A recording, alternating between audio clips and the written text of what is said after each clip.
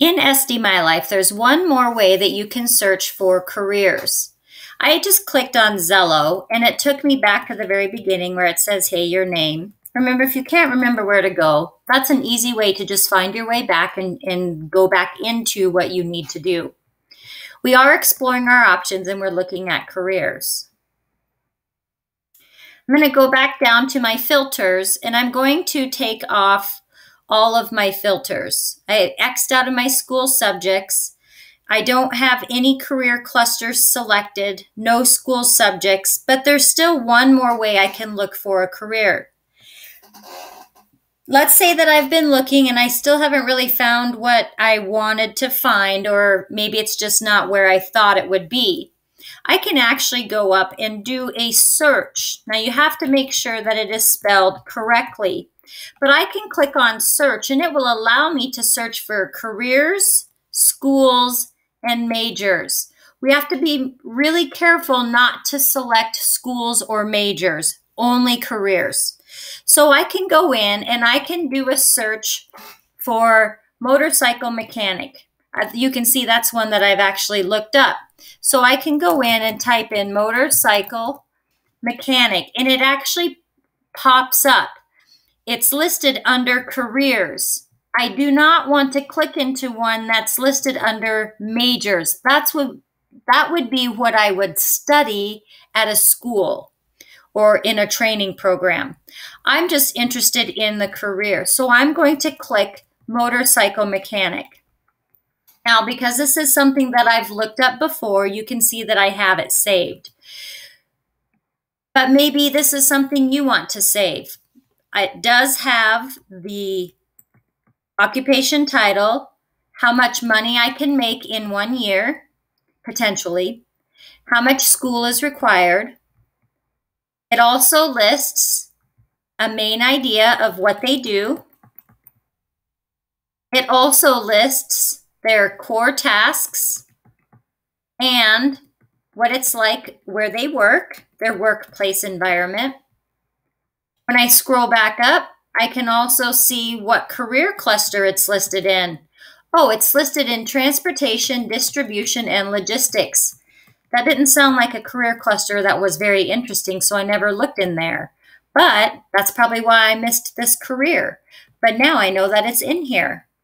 So I can see that it's in there. I can also see that it's similar to an automotive service technician, which is an auto mechanic, someone who works on cars, heavy equipment technician, diesel technician, someone who works on vehicles, but diesels specifically, farm equipment technician, same thing, except they specifically work on farm and ranch equipment, and auto body repair. Remember, auto body repair is someone who works on the outside of the car, whereas an automotive service technician is someone who works on the engine to make it run. The auto body repair makes sure that the body or the outside of the car or vehicle looks nice and looks good. I can research any of those careers.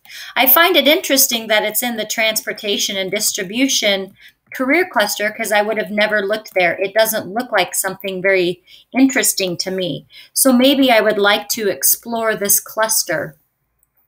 And it allows me to go right back in here. And what it did, if I open up my four more filters, it just shows that it filtered it out for me. It put a check mark in there for me.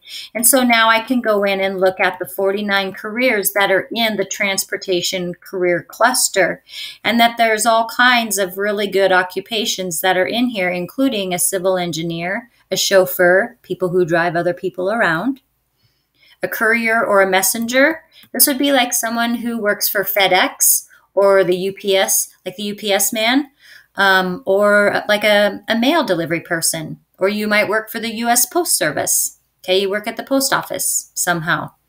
Okay, so there's lots of different careers that you can find. Sometimes they're listed under things that we don't necessarily recognize, like courier or messenger, but because we don't think of that, we think of it as a FedEx person, a delivery person, but they're the same. They're very similar, and you can count those as your careers if that's what you would like. Remember, doing a search up here by the magnifying glass is going to work just as well. I might want to search for a vet, a vet tech. I don't want to be a veterinarian. I just want to be a vet tech, which is kind of like a veterinary assistant. So I can look at that as well. There's all kinds of careers that I can just do a search for. Maybe I would like to do a search for surgeon and I can see there are nine results and some of these are popping up and I didn't even type the whole thing because I don't know how to spell it, but I know that it's S-U-R-G and it started filtering them out for me. A surgeon, surgical technologist, which would kind of be like an assistant, a plastic surgeon, orthopedic surgeon, dentist, doctor, or neurologist. And I could look at any of those careers. Remember, skip the majors, just pull up any one of the careers. Maybe surgeon isn't what I really wanted, but I'm going to click on doctor instead. And then I can look that information up as well, just like I did before, and I can choose to save it. Remember, your goal is to save a minimum of five, but no more than 10 careers into your profile. To see what all your careers are, click on Zello and you'll go down to your saved options. When you clicked on your saved options, you can see all of the careers that you have listed inside of here. You can even, if you want to, but you're not required to, tell me how do you feel about the career? There's a fun little drop down box that tells you this is definitely something I'm going to love, or I might like it a lot, or maybe. That's why I put it in here. Um, I don't think you're going to put definitely not for me. If you don't like it, you're not going to save it. So don't put it in there.